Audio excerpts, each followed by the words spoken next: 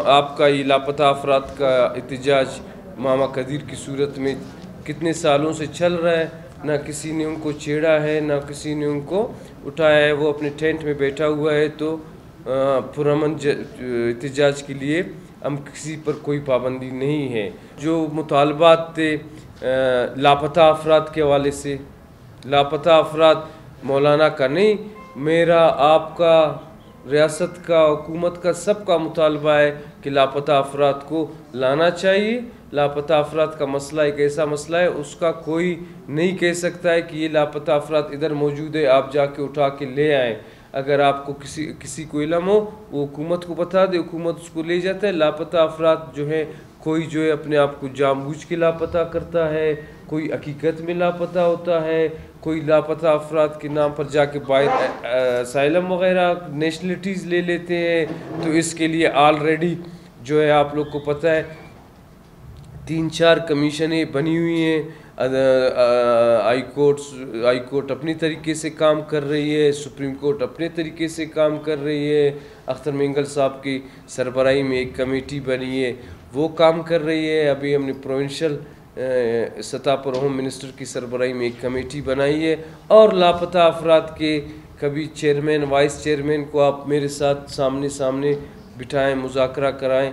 उनको पता है कि सूबाई हुकूमत ने उनके लिए कितना काम किया है। उनकी कितनी मदद की है और किस हद तक अपने फ़रज़ को सर अंजाम देने की हमने कोशिश की है। वो पुलिस का काम है, पुलिस ने ऐसी कोई शिकायत नहीं लगाई कि मेरे पास गैस नहीं है या मैं इसके काबिल नहीं हूँ। ये आप एक साफ़ी केसी से सवाल कर रहे हैं, पुलिस को ख़ुद शिकायत होगा तो अपनी शिकायत में मुझे, मुझ तक अपने ज़रिए पहुँचा देगा, मैं उसका मसला हल कर लूँगा। दूसरा आपने बात किया कि दस महीने से मैंने आपको कहा, उसी टाइम मौलाना साहब के वही मुतालबात, उसी टाइम सूबाई हुकूमत के माने गए थे। अभी मौलाना साहब कहते हैं, मेरे नॉन कस्टम पेड गाड़ी, गाड़ियाँ पकड़ी गई हैं, उसको छोड़ दो। उसके लिए दस साल भी लगा ले, वो मेरे इख्तियार में सुबह हुकूमत के इख्तियार में नहीं है। वो आ जाए मेरे साथ, जिस तरह मैंने कहा, कमेटी मैंने उसको बोला है, बना के जाते हैं, हम आपके साथ मरकज़ी हुकूमत से बात करते हैं। हमने सौ दफ़ा बात की है, उसमें कानून, कल आपका जो है, एक नॉन कस्टम पेड गाड़ी पिशावर में पकड़ा जाएगा। वो अदालत में केस लगाएगा कि बलूचिस्तान में छूट गया, इधर क्यों नहीं छूटता? है कोई तरीक़ेकार होता है सरकार के चलाने का, ऐसे जज्बाती अंदाज से नहीं चलता। मौलाना साहब ने जो है, आपने देखा कि सरकारी इदारों को भी गालियाँ दी। अत्ता कि मैं समझता हूँ हमारा बलोच माशरा, पश्तून माशरा, बल्कि पाकिस्तान और इस्लाम का माशरा, ये चीज़ कबूल नहीं करता है कि हम खुदा, सियासत में मेरे बहुत से लोग ऐसे हैं जिनके ख़िलाफ़ मौलाना साहब तकरीर करते हैं। बहुत ज़्यादा मेरे उनके, उनसे नज़रियाती इख्तलाफ आते हैं।